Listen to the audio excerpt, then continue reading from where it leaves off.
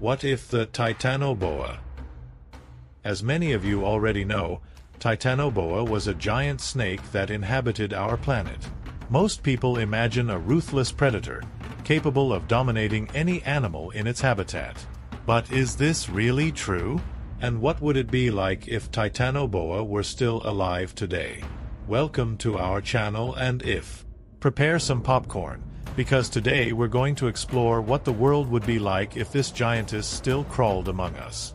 Let's get started. The world of Titanoboa. Nothing in nature exists in isolation. Each species is part of a larger ecosystem, interacting with the environment and other creatures around it. Only those who adapt well to their environment can prosper. Titanoboa lived about 60 million years ago, shortly after the extinction of the dinosaurs, in the Paleocene period. Its fossils were discovered in Colombia, but it is believed that its distribution went much further, possibly covering much of South America. At the time, the climate was hot and tropical, and dense forests covered vast areas, with rivers meandering through the landscape. A perfect habitat for this giant snake, which could reach up to 14 meters in length and weigh more than a ton. Was the Titanoboa so dangerous? Initially, scientists believed that the Titanoboa was at the top of the food chain, being an apex predator that devoured any animal that crossed its path.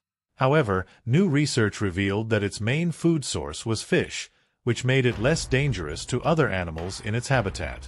Although the Titanoboa was huge, it didn't have to worry about many predators.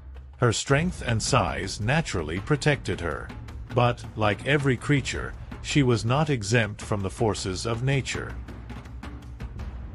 Why did the Titanoboa go extinct?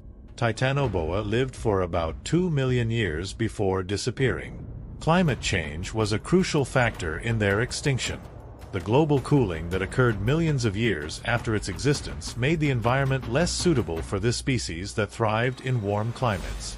Additionally, declining fish populations, caused by ecological events and changes in ocean conditions, have reduced their food sources. What if Titanoboa had survived? If the Titanoboa had survived to this day, the natural world would be very different.